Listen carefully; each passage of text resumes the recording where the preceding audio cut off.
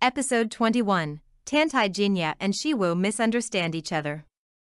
Pian Ran told Yi Xiwu that she can go to the barracks to visit Tantai Jing quietly, and then secretly arranged for someone to send her back to Jinghua. Yi Xiwu hid aside to visit Tantai Jin, and saw that his injuries were not serious, but a crow appeared at this time scared her and she screamed.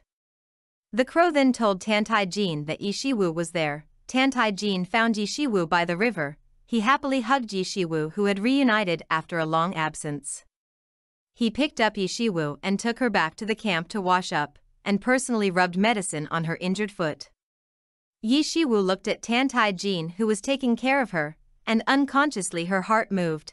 King Sheng couldn't wait for Tantai Minglang to train the demon soldiers. Fuyu came up with an idea that he could use the bones of Tantai Jin's closest relatives as a guide, and add nine pairs of virgins and a close person to sacrifice together, so that King Sheng could achieve his wish as soon as possible. King Sheng ordered people to fetch the bones of Tantai Jin's mother, and he planned to sacrifice the people close to Tantai Jin with Yingxin, so that when the spell was completed, Tantai Jin would undoubtedly die. Yi Xiwu asked Tantai Jin if he was mad at her for sneaking into the barracks, but Tantai Jin didn't blame her. He told her that Pian Ran deliberately made things difficult for Yi Xiwu so she could leave. Yi Xiwu then said, Fine, I will leave. But Tantai Jin asked her to stay and recover from her injuries in the barracks. Yi Xiwu acted like a baby and said to Tantai Jin that it was his fault for leaving her alone in the palace and not saying a word. He comforted her, saying that he would never do that again and would be by her side. Yi Xiwu had tears falling down her face and felt warmth in her heart. When Tantai Jin learned that King Sheng had stolen his mother's bones, he was furious and rushed to Shang State with his soldiers overnight. King Sheng summoned a sorcerer to cast a spell, and the sorcerer said that after the success of the spell, Tantai Jin would fall ill and die in three months.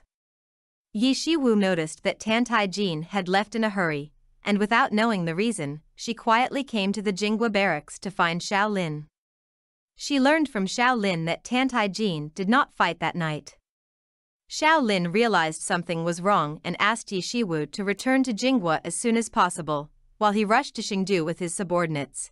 Tantai Jin came to Xingdu and confirmed that King Sheng stole his mother's remains and even sacrificed innocent people of Sheng Kingdom in order to kill him. Unexpectedly, King Sheng smashed the container of Tantai Jin's mother ashes onto the ground. Tantai Jin was furious so he killed King Sheng with his own hands. Crazy Yingxin thinks of Tantai Jin is a monster and stabs him with a sharp sword. Tantai Jin said that the sword stabbing was repayment for Yingxin's help in raising him, and now he can kill her with a free conscience. King Sheng died tragically, and the palace of Sheng Palace was in chaos. Yi Bingsheng ran away with a maidservant and ran into an eunuch holding a knife to rob money. Yi Bingsheng saw Tantai Jin in the Shengwang Palace and realized that Tantai Jin was the most powerful person in the world now. Yi Bingsheng begged Tantai Jin to take her back to Jinghua. And Tantai Jin thought for a while and agreed with her request. Although Xiao Lin brought people back to Xingdu, it was too late, King Sheng was already dead. On the way back to the camp, Tantai Jin learned from a crow that Yixiwu went to Xiao Lin's barracks alone after he left, and Yixiwu's actions might be suspected of collaborating with the enemy. Tantai Jin recalled Yixiwu's series of actions, and misunderstood that Yixiwu betrayed him for Xiao Lin. Yi learned from Pian Ran that Tantai Jin went to Xingdu last night, and she went to Tantai Jin and asked about it. But Tantai Jin misunderstood Yi Xiwu and thought she cared about Xiao Lin, so he simply admitted that he went to Xingdu to kill Shang Wang Xian and Yingxin. Hearing Tantai Jin's brutal killing, Yi Xiwu was very disappointed, and admitted that she was blind and mistakenly cared for Tantai Jin. She said she thought she could change Tantai Jin's evil nature, but now she regrets being by Tantai Jin's side for so long. The two had a big fight, and Yi Xiwu left angrily. Pian Ran was worried about the injured Yi Qingyu, so she quietly found medicine for him, and asked the soldiers not to tell Yi Qingyu.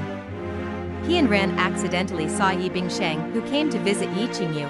She was quite surprised when she learned of Yi Bingsheng's true identity. When Xiao Lin learned that Yi Bingsheng was taken to Jinghua, she was only thankful that her life was not in danger.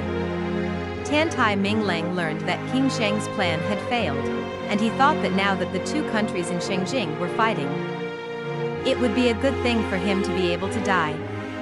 Now that the formation will be completed, the entire southern border will become a poisonous fortress, and by then Tantai Jin will not escape death. Yi Bingsheng came to thank Tantai Jin for saving her, and Tantai Jin asked her to accompany him day and night, and let her cook for him every day. This request made Yi Bingsheng think that Tantai Jin really liked her.